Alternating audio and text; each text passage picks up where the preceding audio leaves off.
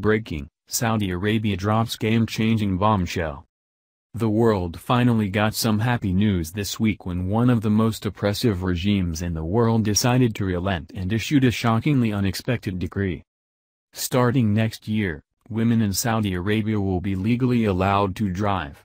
This ruling is a significant expansion of female rights in the Wahhabist kingdom and is something for which activists in the Middle East and North America have been advocating. From Washington, President Donald Trump welcomed the news. White House Press Secretary Sarah Huckabee Sanders said, This is a positive step toward promoting the rights and opportunities of women in Saudi Arabia.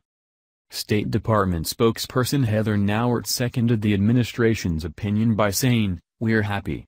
We're certainly happy to hear that. If Saudi women are now able to drive, certainly here in the United States we would certainly welcome that. It's a great step in the right direction for that country. Back in Saudi Arabia, the kingdom's royal family addressed the press regarding this ruling. This is the right time to do the right thing, said Prince Khalid bin Salman, the country's ambassador to Washington.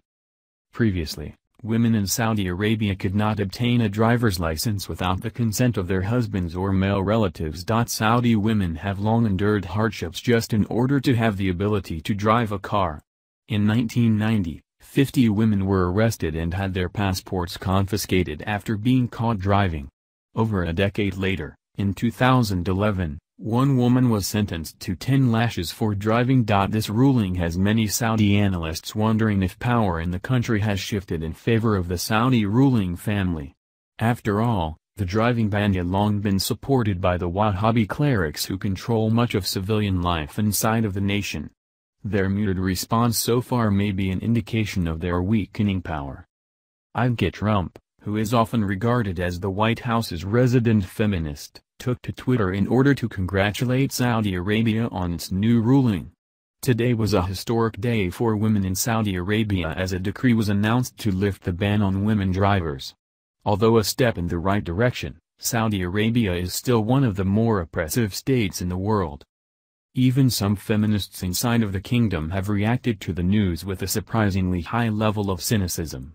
One wrote on Twitter that by allowing women to drive, Saudi regime wants to divert attention from detaining more than 40 people since 9 September. Another writer criticized the Saudi state for not doing more to dismantle its kafala system, which enslaves non-Saudi women as domestic servants who are only allowed to remain in the country at the largesse of their employers. The kafala system is also used to hire labor slaves from India, Pakistan, and sub-Saharan Africa. These workers suffer notorious abuse at the hands of their Saudi employers. Yes, Saudi Arabia should be congratulated for giving women the right to drive. However, Saudi Arabia is not a nation that the U.S. should either trust or support until massive reforms are undertaken.